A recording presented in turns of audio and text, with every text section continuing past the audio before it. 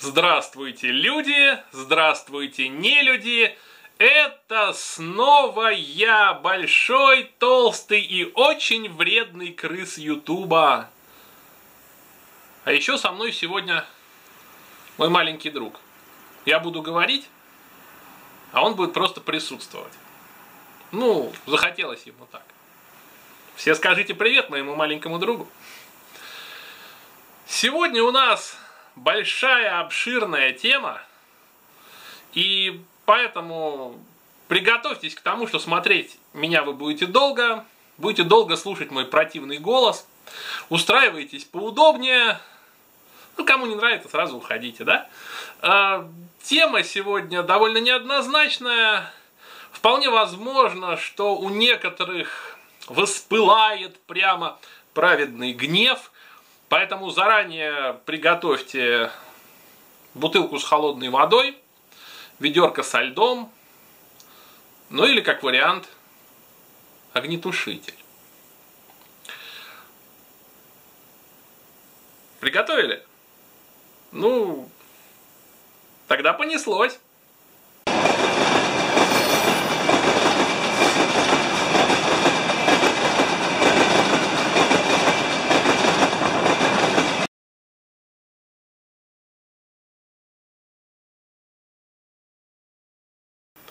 Поговорим мы сегодня об оружейной культуре, об оружии в целом, если можно так выразиться, начиная с давних эпох и по сей день, о том, нужно ли оно или не нужно, да или нет, и почему. В прошлом своем сюжете, где я говорил про выбор ружья, я допустил, если можно так выразиться, некоторую колкость в адрес тех, кто считает, что оружие нам не нужно. Но это было много острой реакции такой, как-то вот некоторые обиделись. И вот сегодня мы эту тему, пожалуй, разовьем и докажем, да, потому что многие думали, что я не прав. Да нет, ребята, я прав. И вот сейчас я буду вам объяснять, почему. Почему оно нужно. Немножко углубимся в историю. Воевало человечество всегда –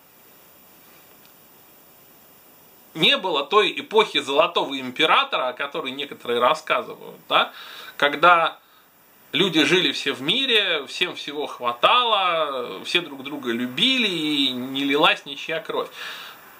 Да, были краткие какие-то периоды в каких-то определенных местах, где это было. Но если взять человеческую цивилизацию в целом, то постоянно находилась какая-то злобная или жадная тварь, которая считала, что чем создавать материальные блага, проще их отнять у соседа. Э, или пойти там захватить чужую землю, чтобы жилось покомфортнее, да, или просто, ну, взять и убить того, кто тебе не нравится, тот, кто от тебя отличается. Ну и всегда были люди, которым, естественно, не нравилось, когда с ними так обращаются. Всегда были конфликты. А поскольку люди разные, Одни больше, сильнее, опытнее, да, потому что они уже многих убили, ограбили, там, унизили всячески, поработили. А другие не очень опытные, но им как-то не хочется быть следующим. Тогда люди додумались, что кроме зубов, ногтей и тумаков по башке можно пользоваться всякими предметами для нанесения урона ближнему своему. Собственно, это и есть оружие. Да? Самое первое, когда человек еще был не совсем человеком. Э, это был камень, это была подобранная палка, кость, какой-то кусок острого рога, которым можно было нанести урон своему недоброжелателю и доказать ему, что ну, не надо покушаться на чужое, да, не надо вести себя нехорошо.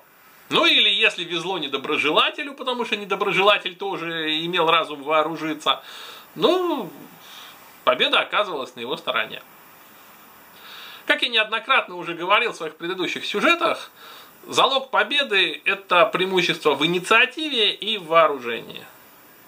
То есть инициатива – это если вы сработали, так сказать, на опережение, да, упредили действия своего противника – ну а вооружение, это понятно без слов, да, что если у него кирпич, а у вас винтовка, то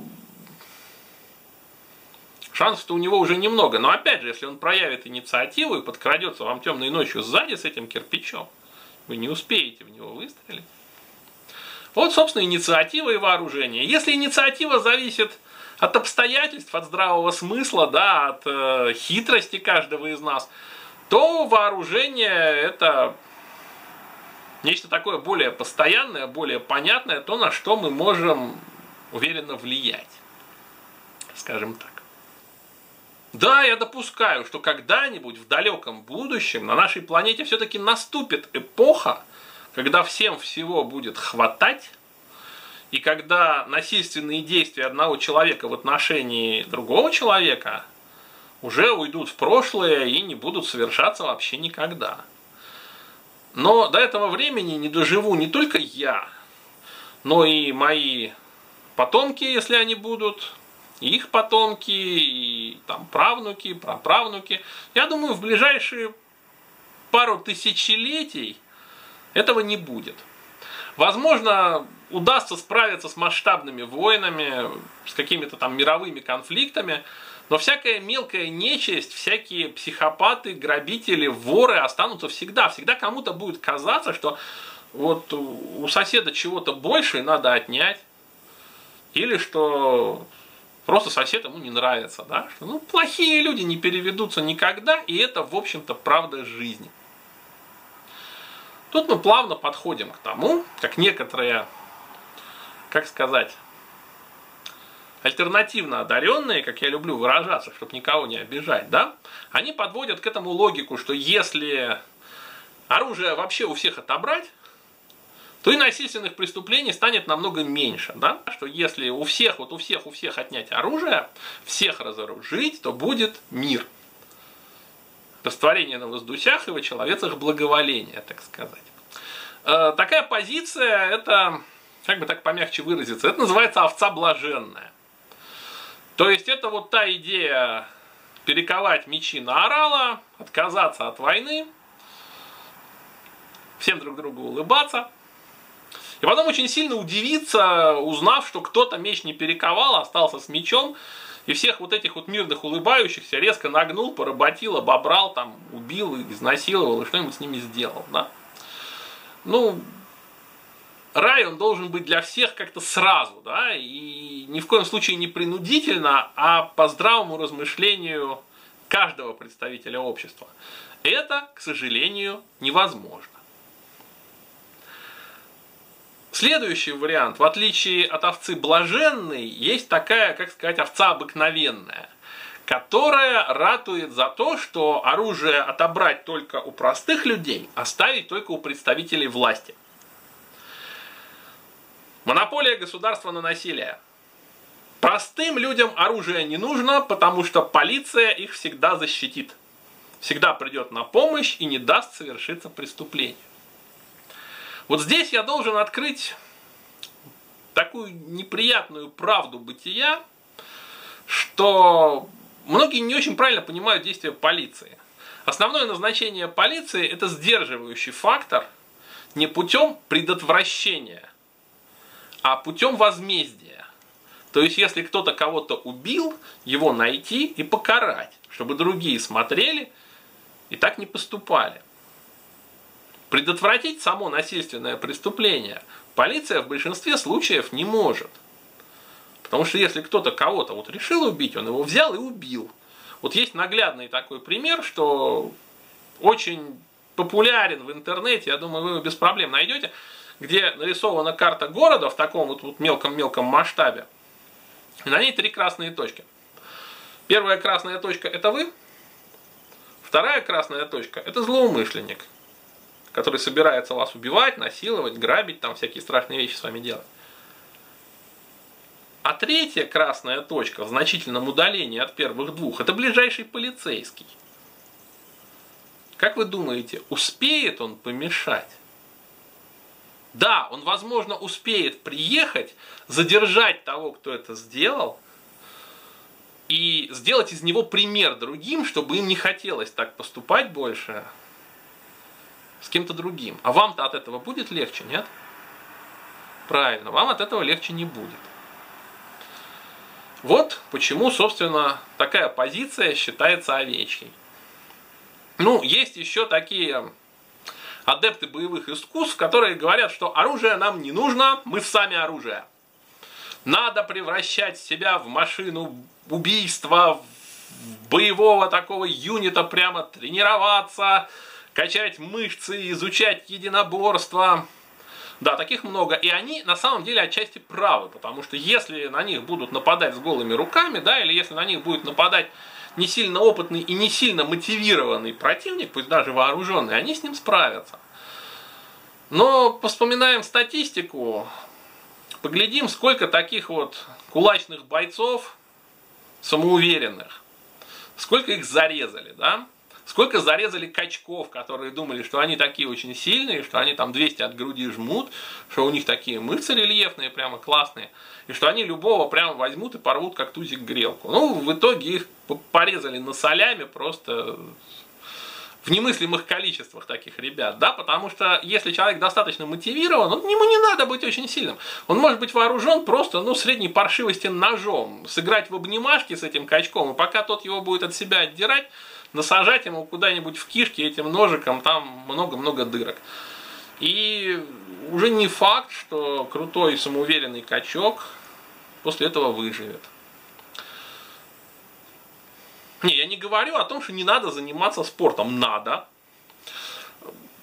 Надо изучать и боевые искусства, ну или как минимум борьбу, да, чтобы примерно представлять, что если вас схватили, там, начали бить, то что с этим сделать. Опять же, далеко не во всех случаях надо применять оружие какого-нибудь там пьяного дурака, можно просто там, взять за шкирку и, и держать от себя подальше, чтобы он вам ничего не сделал. Но мы в данном случае рассматриваем серьезные ситуации, именно такие суровые насильственные преступления – где инициатива и вооружение, вооружение и инициатива, да.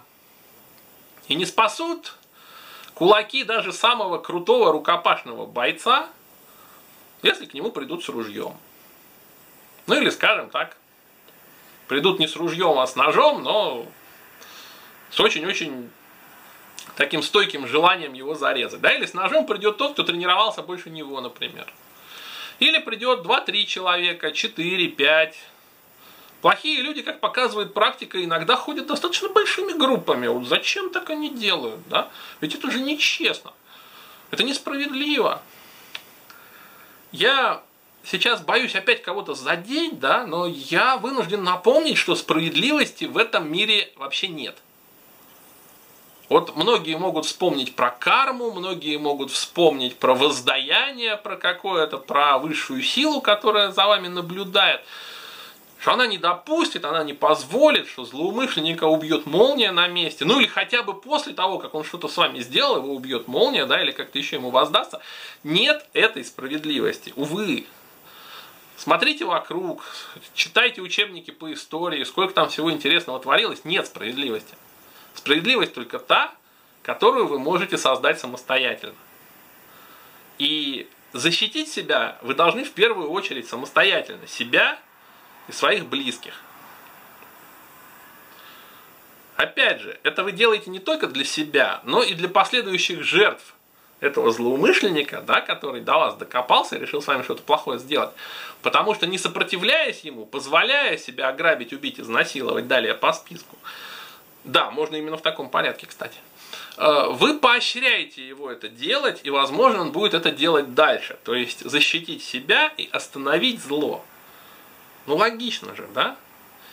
И вполне логично, что у вас должно быть средство это сделать. Почему бы и нет? Вот, собственно, для этого нам и нужно оружие. Я ни в коем случае не призываю к войне. Не воспеваю масштабные боевые действия, ковровые бомбардировки. Я говорю про отношения именно индивидуумов. Как один человек способен защитить себя от другого человека. Ну или от двух, трех, четырех, там, скольких-то, сколько их там соберется, да, по вашу душу. Вы должны уметь это сделать. Вроде бы очевидно, нет? Но тем не менее находится огромное количество альтернативно одаренных. Да, да, но как их иначе назвать после всего этого? которые упорно не хотят во все это верить. Мне непонятна их логика, но давайте я приведу вам несколько их цитат. Может, вы их логику поймете? Как-то, может, впоследствии объясните мне, да, что я не прав, хотя вряд ли, конечно, у вас это получится, потому что я прав, да, увы, увы.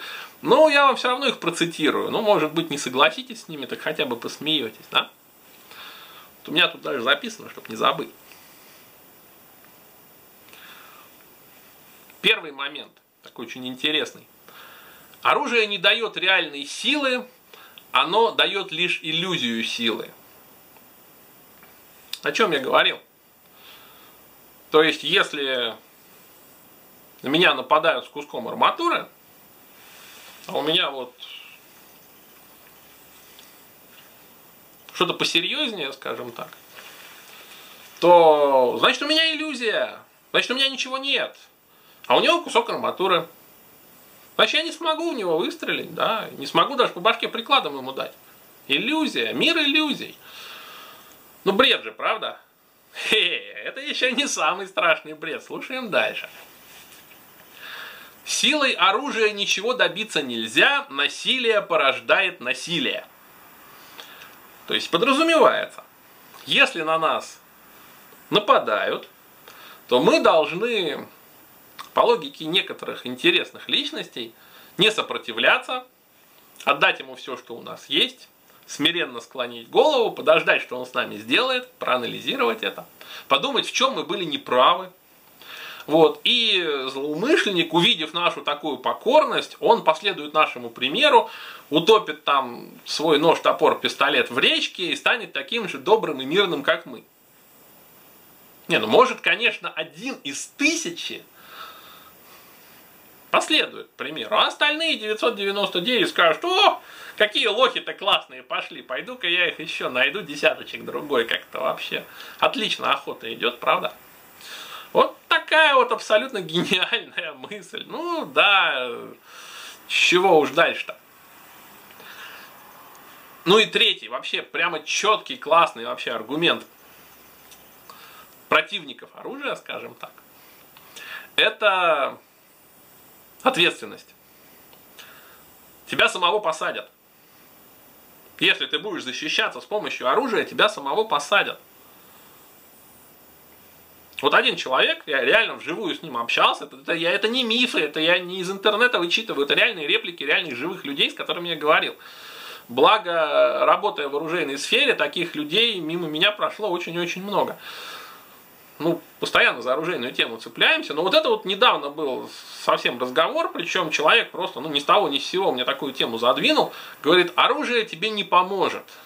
Вот напали на тебя, применил ты оружие, убил его, судить должны были его, а будут тебя. Так что вот толку-то от твоего оружия. Ну, хороший расклад, правда? Здесь надо еще вспомнить, что мы защищаем не только себя, но и своих близких, свою семью, каких-то дорогих нам людей. И, возможно, в каком-то случае мы даже готовы собой пожертвовать, чтобы нас, может быть, даже не посадили, может быть, даже казнили, но чтобы мы все-таки спасли и защитили кого-то другого. Или других, да, их может быть очень много. Например, если мы остановили террориста, да, то мы спасли кучу жизней, и это, в общем-то, неплохо. Вот. Но даже если отойти от этого, сам такой момент, что тот, кто это говорит, да, кто говорит, вот должны были судить его, а будут тебя, он, наверное, предпочитает, чтобы судили нападающего, а его самого, чтобы убили, да, там искалечили, опять же изнасиловали, да, какая-то больная тема у нас сегодня, у нас тут всех насилуют, да, при том, что то, что мне это говорил, это был мужик, да, какая-то нездоровая фигня пошла, правда, ну, злоумышленники разные бывают, да, вот. То есть человек предпочитает, чтобы с ним все это сделали, но ни в коем случае не поднять руку на злоумышленника, потому что иначе вот он то есть он тюрьмы боится больше, чем вообще смерти, да, или там какого-то поругания своей личности. Да. Не знаю, бодрит меня этот момент почему-то, я себе это просто представляю. Тихо, никакой пропаганды. Вот. Ну, такие вот люди есть. То есть это совсем-совсем овцевидный пацифист такой, который считает, что он просто, ну, он, он не имеет права защищаться, он не имеет права убивать злоумышленника, потому что это грех и статья.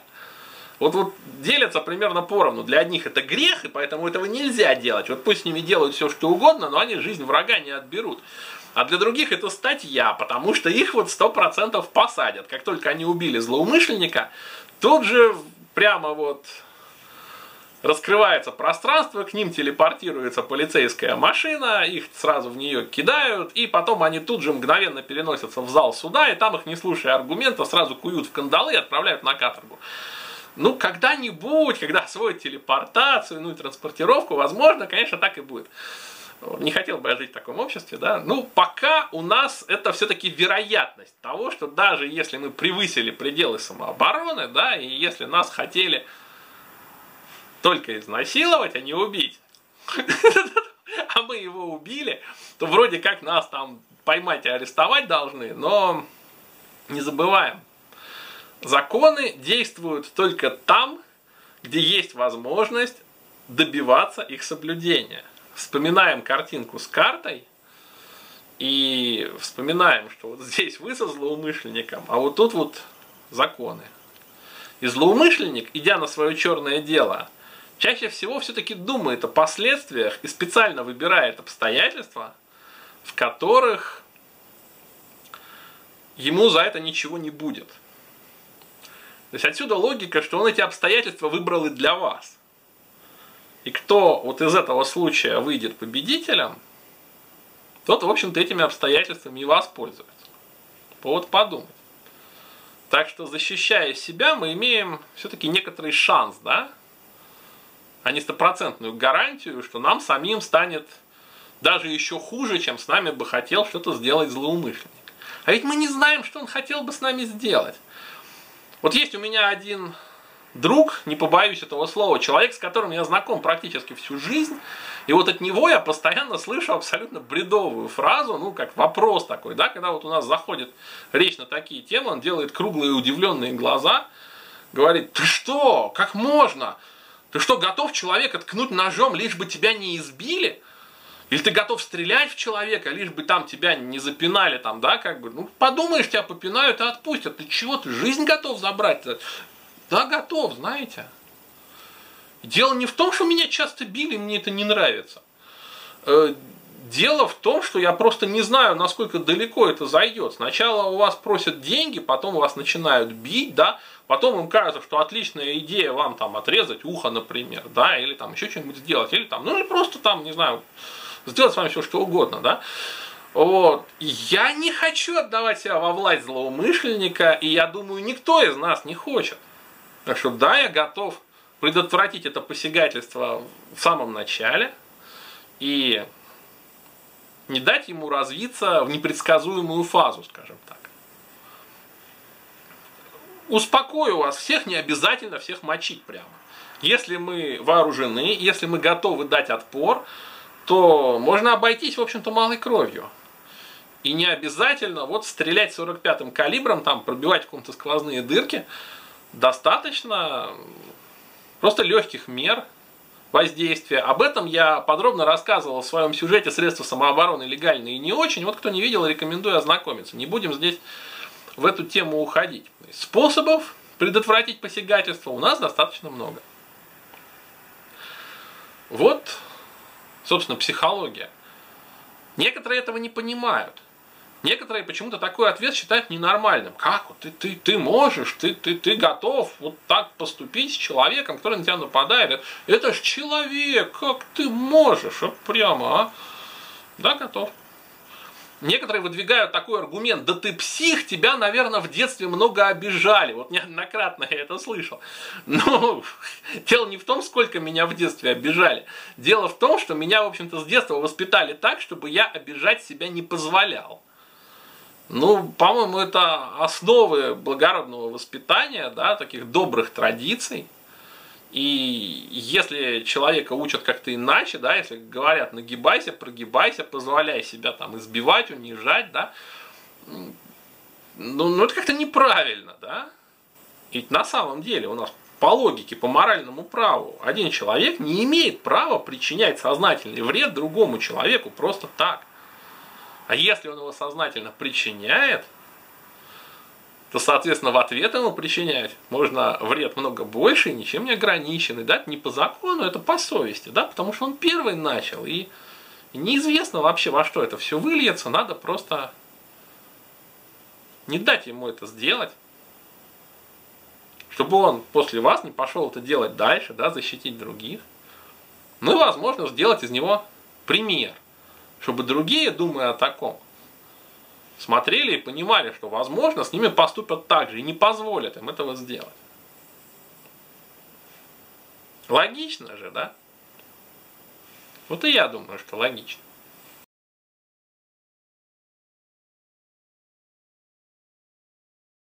Ну а теперь поговорим непосредственно о самом оружии. В данном случае как апофеоз этого об огнестрельном. О том, что если мы все-таки поняли, что нам это нужно, если мы озаботились тем, чтобы им обзавестись, поговорим о том, как нам быть и что нам с этим делать, да? Потому что, к сожалению, во многих обществах, далеко не только у нас в России, во многих других странах, народ на это смотрит немножко неправильно. Есть много популярных ошибок, таких вот распространенных очень. И сейчас вот надо на них обратить внимание. Первый момент. Люди вооружаются и думают, что вот кроме факта наличия им ничего не надо. Полковник Кольт сделал всех равными. Ну, на самом деле тут можно еще поспорить, Кольт или не Кольт, да, но ладно, идея понятна. Ну, то есть вот есть у нас пулялка, есть на ней такая кнопочка, да, спуск, вот если надо, наводим на плохих парней, жмем, получаем результат, все у нас хорошо. Господа, с оружием надо все-таки немножко уметь обращаться. Я не говорю про какой-то там трикшутинг, про какую-то тактику, про стрельбу в лед по монетам 5 рублев. Надо просто понимать, как оно работает, чтобы в нужный момент не оказалось, что вы забыли его зарядить. Или то, что вы его 5 лет не чистили, потом у вас жареный петух клюнул, вы его нечищенное так взяли, оно у вас там не стрельнуло или вообще взорвалось в руках, да? Или застрелиться там самому или попасть совсем не в того, в кого вы собирались стрелять, потому что вы его неправильно держали, там не вовремя нажали на нужную кнопочку. Надо всему этому немножко учиться. Хотя бы немножко. Кому понравится, можно немножко. Кому понравится, можно заниматься этим вообще до совершенства, до виртуозного уровня, и ничего плохого в этом нет. Но начать вот с ликбеза. У нас даже вот самый базовый уровень, он у нас у многих искажен. У нас по интернету гуляют совершенно дикие правила, которые просто меня поражают. Причем люди их транслируют один другому. Это вот такие, особенно фанаты техники безопасности, у большинства из которых своего оружия, кстати, нету. Которые вот эту всю идею пытаются нести другим еще быстрее даже, чем те, у кого оружие есть, причем непонятно зачем, и вносят огромное количество сумятицы. Самое главное, вот эти вот знаменитые американские правила. Первое правило, то, что всегда относись к оружию как к заряженному. Это, во-первых, это изначально кусок инструкции для стрелкового рубежа, где оружие вот действительно вот оно считается заряженным и направлено в сторону цели, да, вот там, вот так вот. А второй момент – это косяк перевода, где в оригинале было всегда «опасайся оружия как заряженного». Это не одно и то же. Это означает, что не надо его совать стволом в живых людей, если вы не собираетесь туда выстрелить. И относиться к нему безалаберно. То есть, вот когда вы его кладете, надо смотреть, например, чтобы ствол был направлен куда-то там даже если оно вдруг стрельнет, даже если оно не заряжено, даже вот, вот ну, ну вот, опасаться, но не всегда относиться к оружию как к заряженному, это бред. Потому что вот вы его, например, чистите. Можно чистить заряженное оружие? Нельзя чистить заряженное оружие, надо его разрядить. Вы его разрядили, всегда относитесь к оружию как к заряженному. Еще раз разрядили. всегда относитесь к оружию как к заряженному. Замкнутый круг идиота получается. Тут мы подходим к термину, что такое заведомо разряженное оружие. Да? В каких случаях к нему можно относиться чуть более свободно, да? например, заглядывать в ствол и смотреть, там, насколько хорошо вы его почистили. То есть на огневом рубеже, да, где вы стреляете, заглядывать в ствол, подсвечивая фонариком, смотреть, там вылетела ли пуля или нет.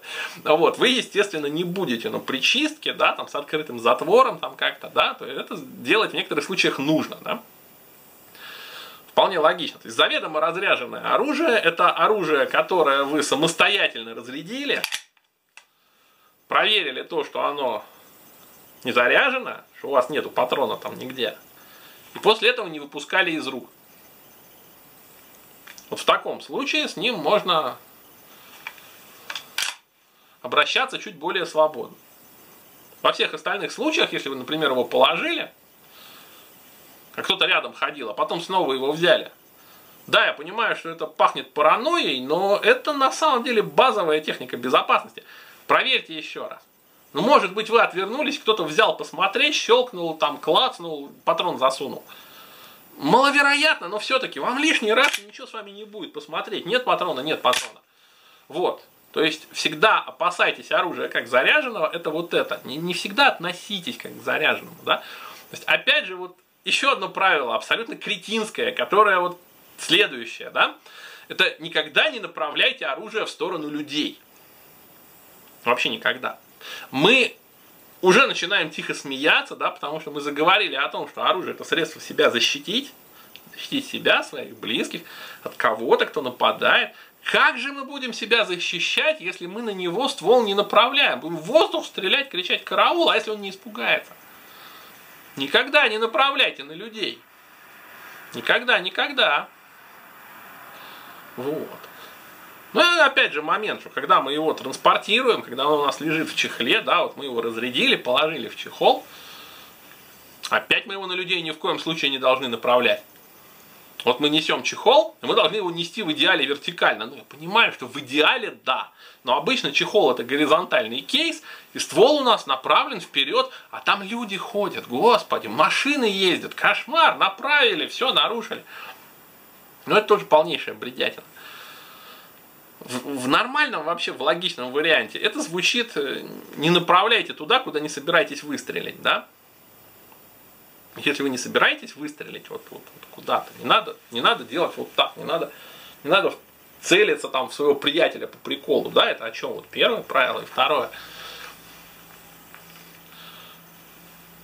Опять же, заряжено, разряжено, и именно это влияет на то, куда вы это направляете, в том числе, если вы вынули из него патроны, запихнули в кейс, и кейс не выпускали из рук, и никто при вас его не открывал, ну, да, тогда можно с ним как-то свободно ходить. Ну, есть правила вполне себе добрые и логичные, да, которые вот следуют из этого. Что там очень много всяких вариантов, что там не надо вот спуск там трогать зазря. Вот с этим я, кстати, согласен. Хотя, опять же, что если мы, например, там, не знаю, красиво фотографируемся, и мы знаем, что патронов у нас там нету, в том, что мы держим палец на спуске, ничего плохого нету. В интернете, вот вы попробуйте, вы возьмите пистолет, ружье, сфотографируйтесь вот так вот с пальцем, выложите это куда-нибудь на ресурс, на вас налетит стая хомяков, которая будет вам кричать ТБ, ТБ, триггер дисциплин, палец со спуска убери, мудак. Да, так и будут, а то еще и похуже. Это почему? Потому что у людей квадратно-гнездовое мышление. То есть они, они боятся, что вот палец на спуске, и все, сейчас выстрел, сейчас пуля рикошетом от потолка, потом в камеру, соответственно, из камеры им в экран и их убьет. Вот они этого реально боятся. Ну, бараны, сейчас взять, идиоты, кто, кто этого бояться-то будет. Но они боятся.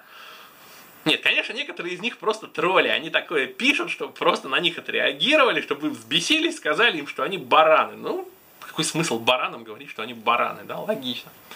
То есть вот этот палец на спуске. Но с другой стороны, когда вы всерьез где-то стреляете, да, или охотитесь, вот ходить по стрельбищу вот так с винтовкой, даже у вас, если в ней нет патронов, окружающим это не понравится, и они будут правы, знаете? В идеале где-нибудь на рубеже, там, на стрельбище, в тире, если вы убрали ствол с направления мишеней, в идеале открыть затвор. Чтобы, чтобы все видели, что вот оно у вас точно не выстрелит. Это не какая-то там шиза, это просто уважение к окружающим, да. Ну, вот такой момент, которого многие тоже не понимают. Но это не имеет никакого отношения к пафосным фотографиям. Что Чак Норрис там где-нибудь на плакате к фильму нарисован, у него пистолет, и он палец на спуске держит. Ну давайте тоже набежим, настрочим там комментариев. Чак, дебил, убери палец со спуска, ты сейчас застрелишь фотограф. Понятно, что там на съемках фильма даже боевого оружия нету. Ну, отношение у людей вот такое. Итого, к слову о правилах. Есть такая формулировка вот этих самых правил, которая, в общем-то, не полная, но базовая и позволит избежать многих проблем. Это не заряжай, если не собираешься стрелять, не направляй ствол туда, куда ты не собираешься выстрелить, и не стреляй в того, кого ты не хочешь убить. Вот три главных правила, которые позволяют 99,9% случаев когда вы выстрелили куда-то не туда, и у вас получилось с оружием что-то нехорошее, позволяет вот подавляющее большинство этих случаев убрать. Не дать им совершиться, скажем так. Вот. А все вот эти вот огромные простыни с корявым переводом с английского, ну это уже надо читать и пропускать через здравый смысл, что там писано людьми, а что там переведено промтом коряво и неправильно понято. Вот, как-то так насчет правил. Ну и последний момент оружейной культуры, который, я думаю, стоит здесь осветить, это оружейная психология. Мы уже разобрались с тем, для чего это нужно, да, в каких случаях мы можем это использовать. И сейчас стоит поговорить о психологической готовности того, кто вооружился, что он при этом чувствует. Вроде бы абсолютно незначительный момент, подумают некоторые здравомыслящие или опытные, но все мы когда-то были детьми. Всем нам когда-то было 12, 13, 14 лет. И те из нас, кто в этом возрасте получали доступ к огнестрельному оружию, они, возможно, помнят свои чувства и помнят, как это влияет на психику, да, что это дает ощущение того, что вот у вас гром-палка, и вы можете сделать бах и посылать из нее смерть и разрушение по мановению своей руки и по своей воле. Это, это на неподготовленную психику все-таки немножко давит. У многих начинает проявляться комплекс терминатора. То есть я вооружился, я непобедимый, вот у меня пистолет, ружье, винтовка, и мне сам черт не брат. Все, законы для меня теперь не писаны, я царь горы, я вообще все. Вот к чему такое ведет? К тому, что такой человек, например, в ситуации на дороге, где ему сказали ты козел, он вместо того, чтобы ответить сам козел или просто заигнорить, он выхватывает пистолет, выскакивает из машины, начинает им там махать в лучших традициях боевиков с неграми, вот, и развивает конфликт, усугубляет его. И, в общем-то, только потому, что этот самый пистолет у него есть, да, не потому, что ему угрожала какая-то опасность. То есть он доводит обстоятельства э, в какой-то момент до того, что он уже сам не может их контролировать, и получается, что он либо убивает того, кто сказал ему, что он козел, в общем-то, как бы совершает неправомерный поступок, потому что за то, что назвали козлом, убивать, я не знаю, подавляющем большинстве цивилизованных стран все-таки нельзя. Или он по своей криворукости доводит до того, что на него, угрожающего смертельным оружием, применяются ответные меры и, как вариант, стреляют в него, да. Это тоже неправильно, согласитесь. Вот такой вот комплекс терминатора, непобедимого, вооруженного и надзаконного, тоже надо как-то изживать. Вот. И еще один момент, не такой, может быть, очевидный, но тоже довольно неприятный. Это то, что в психологии называется принцип молотка. То есть, когда у вас все, что у вас есть, это молоток, то все вокруг вы рассматриваете как гвозди, да, может, слышали об этом. То есть, когда вы получили в свои руки оружие, вам хочется начать им пользоваться. Вот прямо вот сразу. И даже если у вас нету причин, вы их находите. Это вот частично перекликается с первым вариантом, только там подвижка в голове немножко другая. То есть, если есть ружье, оно должно выстрелить. Кстати, вот, вот эта вот идея, она заложена, вот этот бредовый принцип, который многие ранее упомянутые противники оружия нам озвучивают, что если у вас есть ружье, вы обязательно из него кого-нибудь убьете. Обязательно. И в тот момент, когда вы вооружились, вы ступили на скользкую тропинку, и ничем хорошим это не кончится. Вы в один прекрасный день кого-нибудь убьете, за дело или не за дело, неважно, все равно убьете. Это неправильно. На самом деле, если мы вооружились, мы просто добавили себе немножко безопасности. Мы не сделали себя непобедимым, не сделали себя неуязвимым, не обезопасили себя от всех преступных посягательств. Мы просто добавили себе безопасности немножко больше. И все. То есть вы купили ружье, оно у вас лежит дома и делает ваш дом чуть более спокойным, чуть более безопасным. Надо это осознавать и не стремиться стрелять из этого ружья во всех подряд, потому что ну, это не нужно, оно не для того, чтобы стрелять во всех. Ну, сходите в тир, поупражняйтесь. Не обязательно применять оружие по человеку, если не создаются обстоятельства, которые вас к этому вынуждают. Вот, пожалуй, основной момент, который я хотел донести в итоге всего этого повествования. Ну, вот как-то так получилось, не очень коротко, но довольно осмысленно. Может, кто-то что-то не понял, пересмотрите еще раз. Я все, что хотел сказать, сказал, мысли донес. Ну, и если кто-то со мной в данном случае не согласен, то это его проблемы. В данной ситуации, как я считаю, полемики быть не может, потому что очевидно истинно излагал.